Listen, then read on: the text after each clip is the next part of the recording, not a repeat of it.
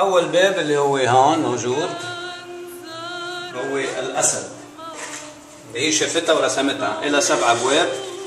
أول باب هو الأسد. الأسد هي خطايا القتل والعظمة والحقد وحب السيطرة والتسلط. اللي بيكون قاتل اللي بيكون عنده عظمة وبيقتل الناس بدون بدون رحمة بينزل بهالباب هيدا. الثاني باب هو الخنزير اللي هو مكتوب هون الشراهة حب الطرف ملذات العالم الغرق بالوحل والسرقة والاختلاس ولعب القمار لعب القمار هو كمان يعني بروح جهنم. هاي طاولة القمار هون موجودة. عم بياكلوا خبيط عم بغدونا حرادين وجردين. لأنه هيدا عم بياكل مصريات هيدا. وهيدا عم ياكل مصريات هيدا. هيدا بروح على البيت عشية زعلان تعبان خسران. بيترقى قتلي لمرته وبيطلع اولاده بلا أكل وبلا عشاء لأن حضرته هذا اكل له مصرياته لهيدا. معناتها لعب القمار من الخطايا المميتة.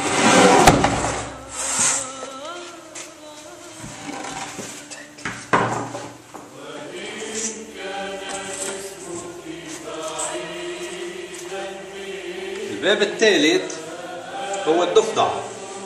الضفدعة مشهورة بالنق خطايا النق والسرسرة والحديث بالعاطل على الآخرين وإدانة الآخرين.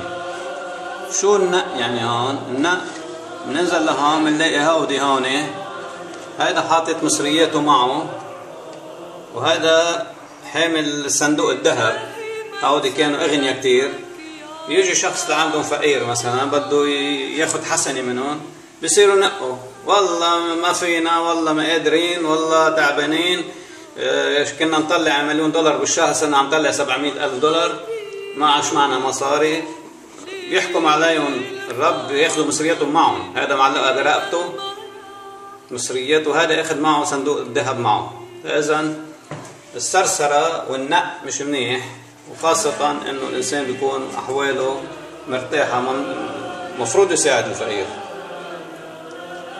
الباب الأوسع باب اللي هو موجود بجهنم هو الطاووس. الطاووس هو الكبرياء والتسلط بدون تفكير والغرتسي والحكم على الناس ظلم. بفوتنا هالباب هيدا. العالم هون بالألاف ناطرة دورة كله على جهنم.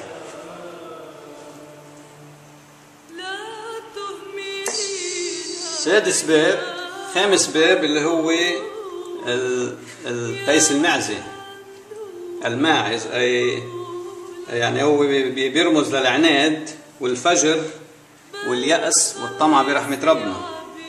يعني العناد اللي بيعند يا أخي روح على القداس اليوم. لا بديش روح أنت مين لتقول لي روح على القداس.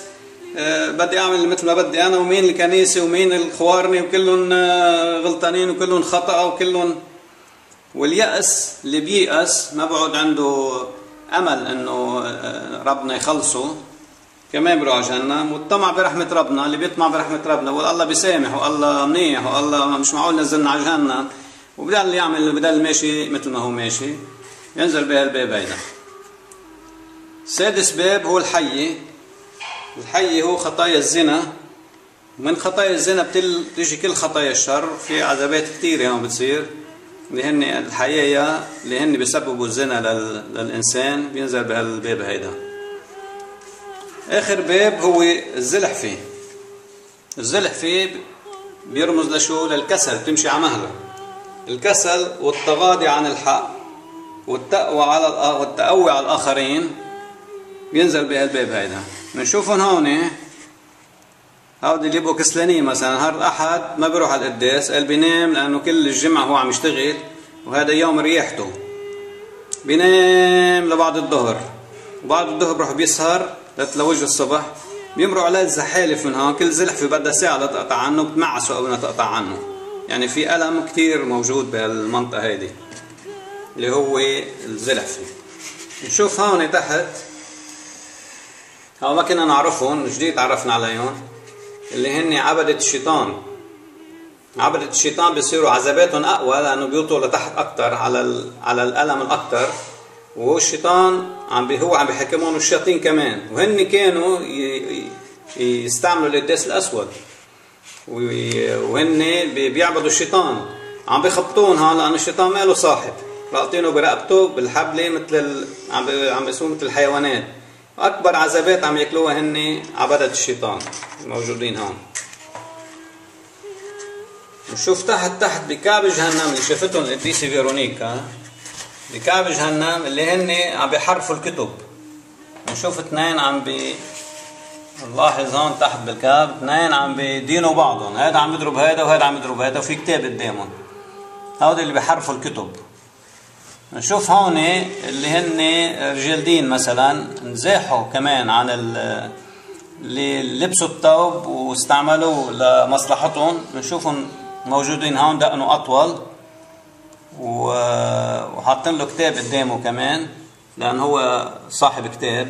وحامل جسد حصان عم يتألم أكثر ويتعذب أكثر ونقرب لهون بنلاقي المكرسين اللي هن كمان ما عم بيقوموا بواجباتهم اللازمة تجاه الرعية وتجاه شو اسمه حاطط لهم شاتين بخمس روس عم يتعذبوا أكثر وأكثر بنشوف هون كمان ناس مكرسين ولابسين تواب. بآخر أيامهم كمان شلحوا تواب ورجعوا للحياة الطبيعية مثل ما بيقولوا وبقيوا بكعب جهنم. هن أقوى آلام موجودة بال فإذا هذا الرئيس هون واقف عم بيحاكم كل كل الناس.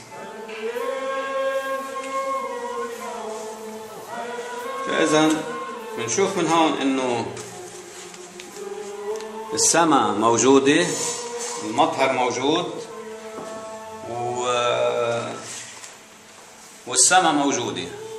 وإذا نحن ما عنا إيمان إنه في سماء وفي جهنم وفي مطهر اليوم ربنا عطينا علامات بنشوف غالب القديسين اليوم بعد جسمها محفوظ وتلاقي الكنيسة اليوم عندها معجزات كثير قوية. من شفاءات من من معجزات خارقة الطبيعة. من هون هذه علامات لربنا. ربنا ما راح ينزل على كل إنسان ويقول له تعال فرجيك جهنم وفرجيك السماء وفرجيك المطهر. إنما في قديس شافوهم. لسبب نحن مطلوب منا حتى آه، نخلص من الحياة اللي هي آه، كلها على بعضها بتطلع لها 10 أيام. آه، والإنسان ربنا ما بيطلع بالخطية يعني لأنه الخطية ممكن نروح عند الكاهن نعترف فيها. ربنا بيركز على المحبة قديش نحن عندنا محبة. فاذا بمحبتنا نحن دل الآخرين لخلاص نفسهم. دلهم على القداس بواسطه القداس والاتحاد بالمسيح بنصير نحن مثلنا بصير هو مثلنا ونحن مثله. وقت بنروح نحن على القداس شو بصير فينا؟ نحن بنصير نشبه يسوع بنبطل الموت. كيف بنبطل الموت نحن؟ وقت بنروح على القداس نعترف ناخذ جسد الرب بصير الله فينا ونحن فيه. هون بصير نحن عنا القوة، وقت نحن سنتين ثلاثة وخمسة ما بنروح على القداس، نحن بصير عنا ضعف روحي مثل ما الجسد بحاجة لغذاء وماء ودواء، كمان الروح بحاجة لغذاء وماء ودواء. جسد بده أكل الروح بدها الإرباني الإرباني هي هي غزل غزل الروح. الاعتراف هو حمام للروح. بتروح على على الحمام تتحمم انت بالماء بتنظف جسدك. بتروح على الكنيسة بتعترف عند الفوري بتنظف روحك. بس يمرض الجسد بتروح بتاخذ دواء بتروح لعند الحكيم بيعمل له قلب مفتوح. اذا الدواء والغذاء والماء بحاجة الجسد لهم والروح بحاجة لغذاء وماء ودواء. الدواء الروح هو الصلاة القراءة بالكتاب المقدس حياة القديسين صلاة المسبحة هي دواء للإنسان. فإذا الروح كمان بتمرض وبتوصل للموت. لهالسبب بنقول نحن بعض الأشخاص إنه نحن ما بنموت بيتعجبوا. كيف ما بتموتوا؟ إيه ما بموتوا أنا نهار الأحد بروح على القداس وبعترف بخطايا وباخذ الله بصير الله داخل فيك. فإذا أنت بتصير تشبه الله بتبطل تموت. من هيك قالوا يسوع وقت قال له مر بطرس خلينا نساعد هودي حرام عندهم ميت. خلينا نساعده ونساعدهم. قال لهم يسوع دعوا الموتى يدفنون موتاهم. هذه كلمة خطرة إنه في ناس هن طيبين أموات.